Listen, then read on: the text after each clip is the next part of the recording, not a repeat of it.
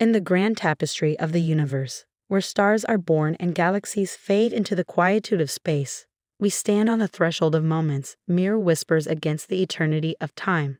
It's in this boundless ballet that we find our beat, our fleeting steps across the stage of life. When time slips through our fingers like grains of cosmic dust, it's not a loss but a profound revelation. It tells us that within these transient breaths, we found something precious, moments so vibrant, so filled with life, that time itself seems to hasten just to keep pace with our heartbeat.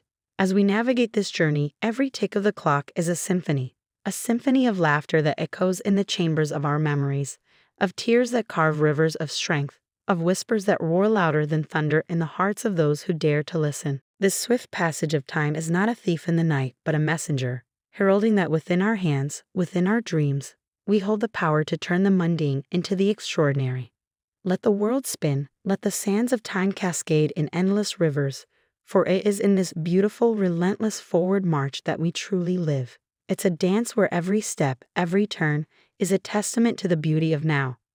And when you feel the days blending into a blur of color and light, remember, it's not the minutes counted but the moments lived that paint the masterpiece of our existence. So let time run fast, for it runs on the fuel of our joy, our sorrows, our triumphs and our defeats.